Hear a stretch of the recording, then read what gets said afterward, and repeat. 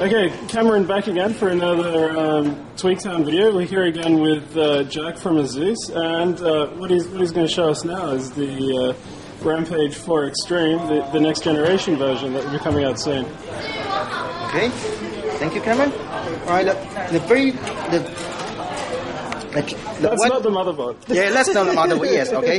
The little toy over here, okay, the little toy over here is not only a plastic piece of toy that you normally find in the toy stores, of course. Okay, this, this once connected, okay, once connected to your to your VGA card, you will now be able, okay, be able to use either the same keyboard or two separate keyboards to tweak your system, okay, in real time. Okay. Okay. So this is the OC key. Yes, correct. Yeah. This is the OC key that we have actually covered in our presentation today.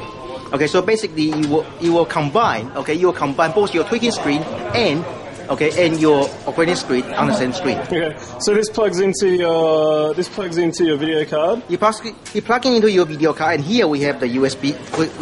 Here we have the USB pinouts, so you can actually connect to the USB headers on behind here. Okay, to in order to trigger it. Okay, in order to trigger it. Mm-hmm. Okay. And then once that's connected, that will communicate with the ROG controller. Yes, once it's connected, you will connect, communicate with the ROG controller, and once it's communicate with the ROG controller, you will communicate with the entire motherboard. Okay. And then when it's communicating, what type of things can you do?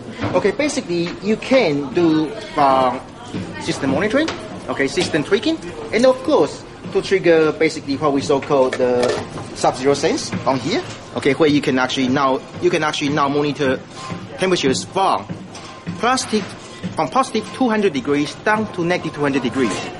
Okay, so this is our sub-zero sense, and also, okay, and also you can also you can also use that to actually tweak or monitor, okay, from our V, from our VGA hotwire.